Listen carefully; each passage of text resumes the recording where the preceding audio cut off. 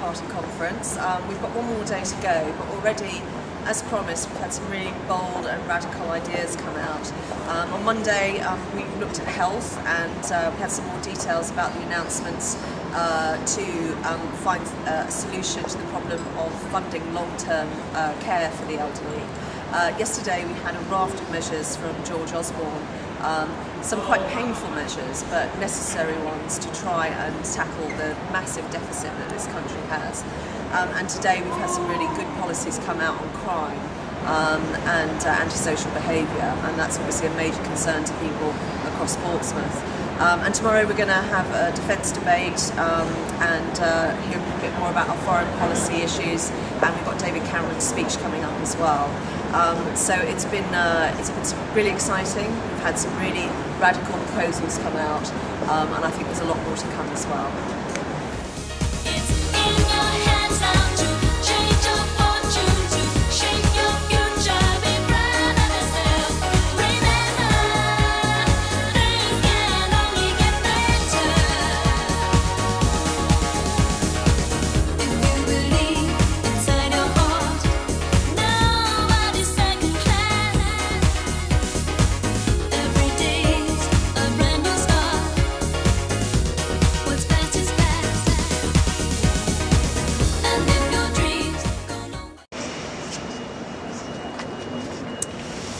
Well, it's the last day of the Conservative Party conference, and in a couple of hours' time, David Cameron is going to be taken to the stage to make the speech that everyone's been waiting for.